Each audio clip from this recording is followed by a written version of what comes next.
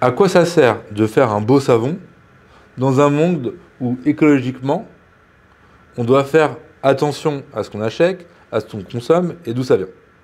Ça, c'est la vraie question de base. Et nous, notre réponse, c'est de dire, il y a des gens, nous, on fait un savon écologiquement clean, on essaye le plus possible, et on prend un axe qui est de dire, on veut se confronter au marketing d'un produit traditionnel, d'être tout aussi sexy, et, pour, et en étant sexy, on va donner envie aux gens d'acheter un savon solide et non un gel douche liquide ou un pousse-mousse euh, horrible.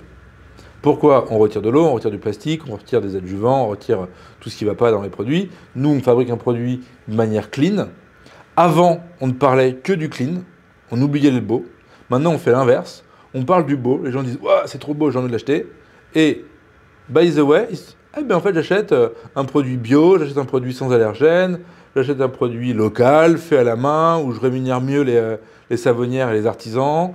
Et, et c'est là où notre mission, euh, elle mérite de faire un beau produit. C'est qu'elle donne envie aux gens de passer à du solide. Ceux qui sont, d'ailleurs souvent, happés par le beau, qui aiment le beau. Ceux qui n'aiment pas le beau, ils vont déjà euh, chez Biocop, ils achètent déjà un savon euh, bio et il n'y a, pas de, pas de sujet. Donc la question c'est comment tu fais pour que les gens qui achetaient euh, qui achètent aujourd'hui des produits plus ou moins sexy avec tout ce que le marketing fonctionne et fait tilter dans leur tête, puissent passer à une savonnette, savonnette quoi, savonnette dure, savon solide. Bah, c'est de faire un truc beau avec des histoires, des collabs on prend euh, un peu l'univers de la comédie française, l'univers des carrossimes, de, euh, de tous les partenaires avec qui on peut bosser,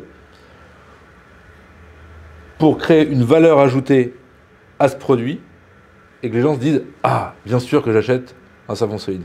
Avec le temps, on s'est rendu compte qu'on ne pouvait pas gagner la bataille de la formulation parce que tu as d'autres industriels, tu as d'autres marques qui font des savons bio. Si tu cherches des savons bio, des savons bio, tu les compares et nous, bah, on est euh, un peu plus cher, on est autre chose. Et donc, si tu veux quelque chose d'un bon savon bio, tu peux nous prendre, mais tu peux aussi prendre plein d'autres marques.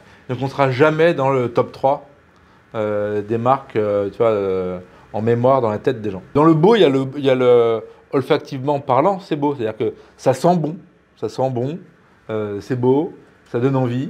Et là, tu vas acheter un savon solide. C'est un peu nous, notre mission, c'est d'acheter un, faire en sorte que les gens achètent cette fameuse savonnette, du savon dur, avec un procédé ancestral, où euh, il y a, euh, c'est euh, écologiquement plus clean de fabriquer un savon comme nous que les industriels avec des liquides et autres.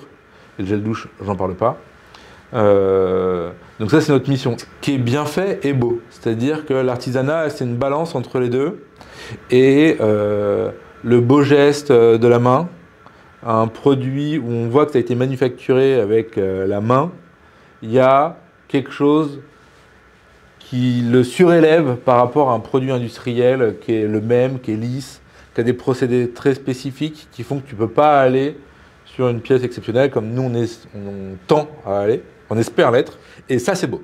C'est quasiment un de nos best-sellers le savon euh, comédie française, c'est notre euh, top 3 ou top 4 ventes. Et ça, c'est, euh, je trouve que ça fait partie de ce qu'on sait le mieux faire, c'est-à-dire raconter une histoire à travers un esthétisme, une esthétisme qui est la nôtre, et une marque, une institution. Là, on va travailler avec euh, la BNF, on va travailler avec des fabricants de carreaux de ciment, on va travailler avec des designers, etc.